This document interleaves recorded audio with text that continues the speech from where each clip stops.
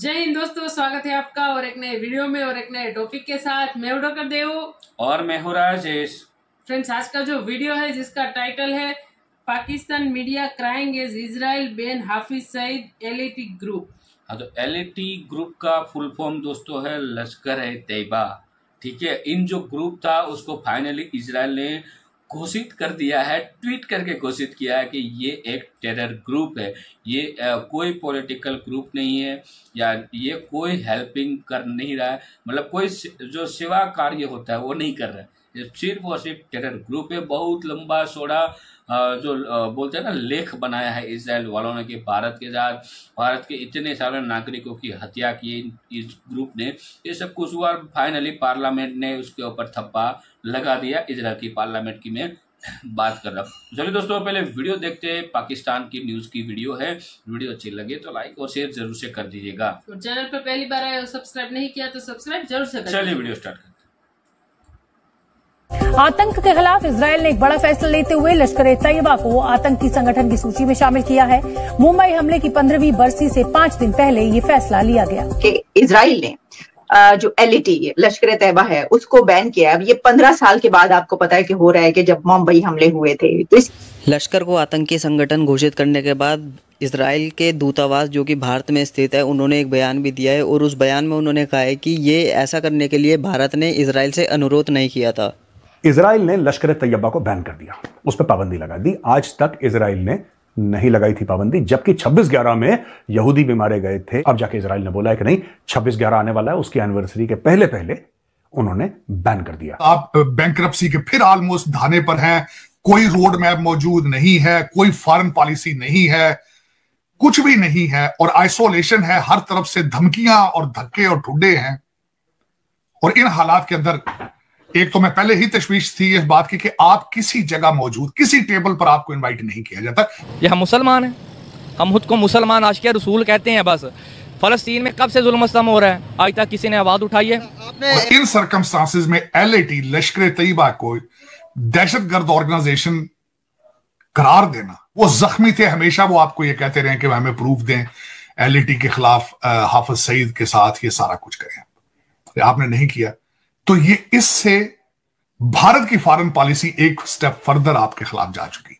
पर बात कर रहा हूँ जिससे हम दुश्मनी करना चाह रहे हैं जंग करना चाह रहे हैं वो आज इकोनॉमिकल तौर पर बहुत ज़्यादा स्ट्रांग हो गया। कुछ पाकिस्तान का सोचो ये कहाँ जा रहा है। आस पड़ोस दुनिया आपके बारे में क्या सोच रही है? कभी पासपोर्ट बेचते हो कभी कुछ बेचते हो कभी कोई।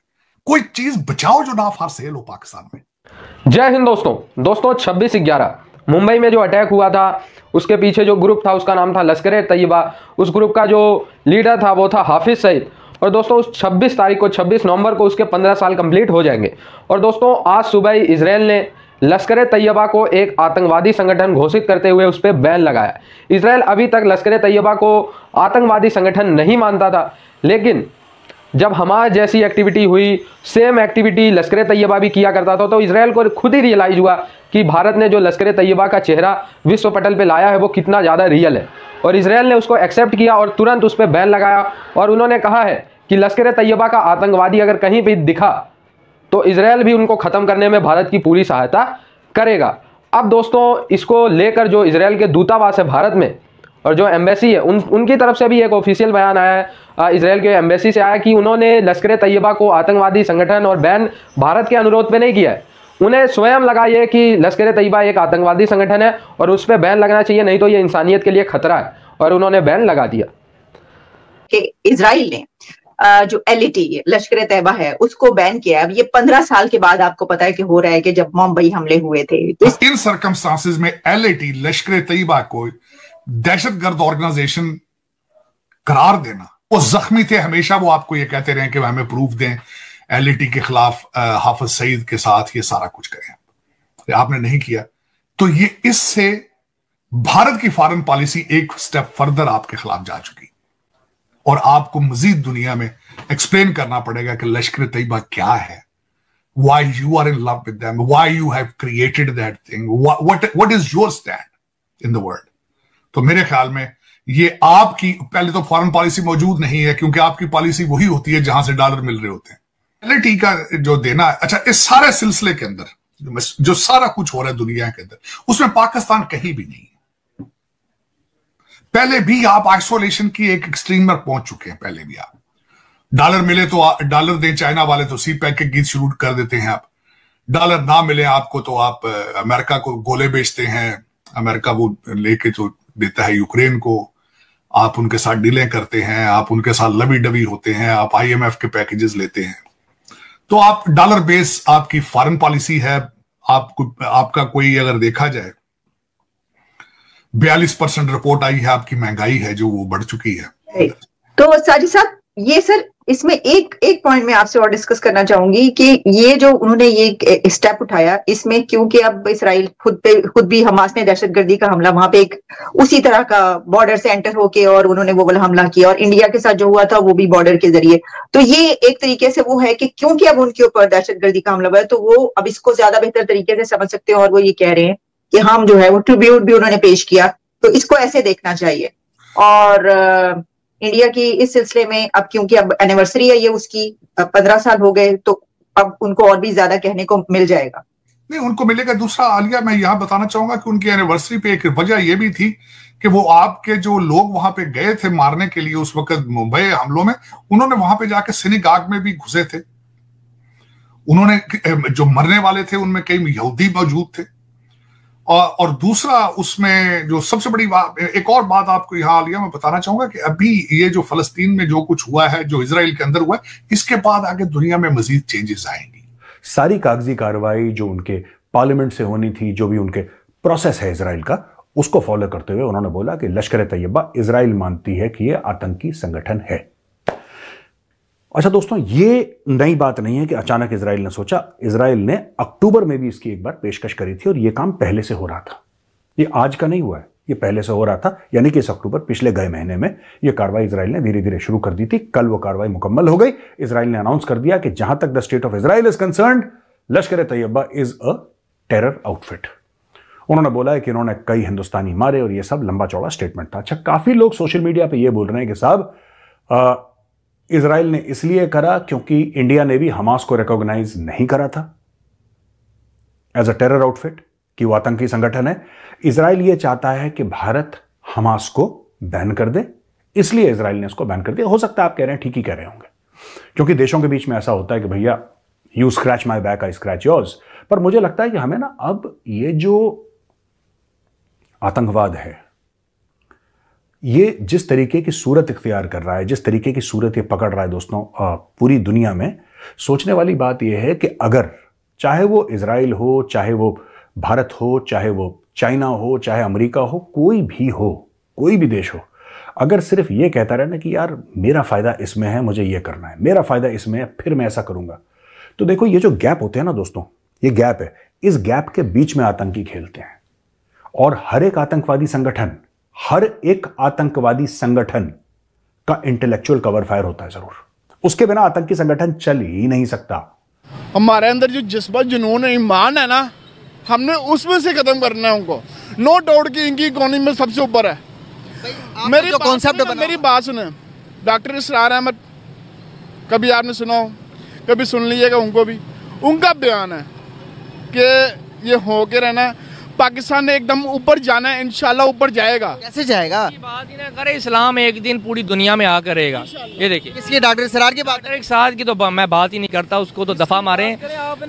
देखें इस तो आपस में ही बड़ा इख्तलाफ है। No bro I am not for this यही तो मसला। इस्लाम एक दिन पूरी दुनिया में आकर रहेगा बस यही है इनशाला हम तहरीक लब्बैक पाकिस्तान पूरी अल्लाह और उसके रसूल की मदद के तहत कोशिश कर रही है। इन इस्लाम पूरी दुनिया में आएगा। अच्छा। हाँ जी। अच्छा। देखिए हमें पैसे वगैरह ये दुनियादारी की कोई ज़रूरत नहीं है।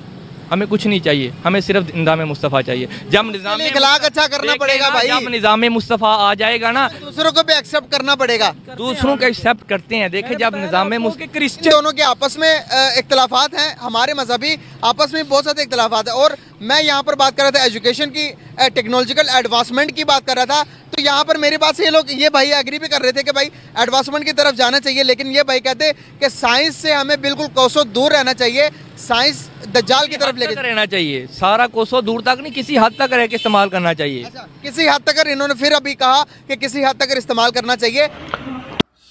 सो थैंक यू दोस्तों वीडियो को यहाँ तक देखने के लिए और वीडियो में आपने पूरी डिटेल्स में जानकारी ली होगी। बाकी की जानकारी थोड़ी बहुत मैं भी बता दू आपको ऐसा मैंने को सोचा लेकिन पूरी डिटेल में आपको जानकारी मिल चुकी है, लेकिन ये करना बहुत ही ज़रूरी था। हालाँकि इसराइल के जो एम्बेसडर है, वो इंडिया में जो है, उन्होंने जो बोला है, उसमें उसने ज़िक्र भी कर दिया है कि ये जो स्टेप है, भारत की ओर से कोई प्रेशराइज नहीं हाँ। किया गया है। और ये जो स्टेप है हम करीबन तीन महीनों से इसके ऊपर इन्वेस्टिगेशन कर रहे थे और फाइनली हमने ये डिसीज़न लिया है और ये डिसीज़न आपके सामने हम प्रस्तुत कर रहे हैं। मतलब आपके सामने रख रहे कि हम इसराइल भी अब मान रहा है कि लश्कर जो तैयबा है एल ई टी ये एक टेरर ग्रुप है। तो ये मैं जहाँ तक मानता हूँ अब ये इसराइल ने जो निर्णय लिया ये मेरे को लग रहा है बहुत लेट लिया है। हालाँकि ये निर्णय लेना था करीबन 10 15 20 साल हम्म, पहले। हाँ। क्यों? क्योंकि तब ये टेरर ग्रुप पाकिस्तान में एक्टिव था। उसके अलावा अभी जो हमास में जो टेरर ग्रुप है वो भी इसराइल में एक्टिव था। तो उस समय यदि ये निर्णय लिया गया होता तो आज जो इसराइल में युद्ध हो रहा है मैं मानता हूँ कि युद्ध नहीं होता। क्योंकि देखो दो दुश्मन हो एक समझ लो कि एक पत, जो दो पत्थर होते हैं उस पत्थर के जो बीच में जो गैप होता है उस गैप को ही आप खत्म कर दो ताकि तो या तो वहाँ से हवा भी ना निकले पानी भी ना निकल सके। हम्म। ठीक है? तो ये थोड़ा मेरे को लग रहा है कि डिसीज़न थोड़ा लेट लिया गया लेकिन जो भी हो डिसीज़न फाइनली इसराइल की ओर से आ चुका है। तो भारत ने कुछ नहीं कहा है कि भाई आप पहले डिसीज़न हमें ये दो वो दो वगैरह। हम्म। इसराइल ने खुद डिसीज़न लिया सबसे अच्छा डिसीज़न लिया है। और मैं मानता हूँ कि अब जो पूरी दुनिया है वो भी उसके ऊपर थप्पा लगाएगी स्टैंप लगाएगी और इस लश्कर तेबा एल को नष्ट किया जाएगा। हालाँकि फ़िलहाल जो है लश्कर तेबा का जो हाफिज सईद है जो उसका मेन लीडर वो तो जेल में है लेकिन उसको वहाँ पे जो फाइव स्टार जेल में उसके घर से भी अच्छी सुविधाएँ मिलती है फाइव स्टार जेल में उसको आ, मतलब बंदी बनाया गया है रखा गया हम्म, और ये लश्कर तो ही बनी वो वो दूसरे दो तीन आतंकी ग्रुप है बहुत सारे वहाँ पे मतलब, तो आतंकियों को तो टेररिस्ट मतलब ग्रुप घोषित कर देना चाहिए क्योंकि हम्म। मतलब अभी ये इश्यू बहुत बड़ा हो रहा है टेररिस्ट का खात्मा होना हाँ, बहुत, बहुत ही ज़रूरी है और जितना जल्दी हो सके इतना बहुत ही अच्छा है बिल्कुल बिल्कुल क्योंकि अब ये है ना ये युद्ध करना लड़ाई हम्म। करना झगड़ा करना वो वाला टाइम नहीं है वो टाइम हम्म। चला हाँ, और आतंकवादी भी मतलब दो देशों के जो मतलब जियो होते हैं उसका फ़ायदा उठाते हैं वो तो हम्म। वही तो आतंकवादी जो टेरर ग्रुप है वो एक बिज़नेस ग्रुप होता है। जब जब तक जब जो दो देश के बीच में कोई लड़ाई होती है वो वहाँ पे ही घुसते हैं हाँ। और वहाँ से ही उसका बिज़नेस होता है। तो ये नॉर्मलाइज है। पाकिस्तान के लिए तो सब बहुत नॉर्मल है क्योंकि इस आतंकी हो पालने में ही पाकिस्तान का बेड़ा गर्क हुआ। तो दोस्तों फ़िलहाल इस वीडियो से विदाई लेते हैं। मिलते हैं और एक नई वीडियो में। आपके साथ टिल देन जय हिंद। जय हिंद। जय भारत।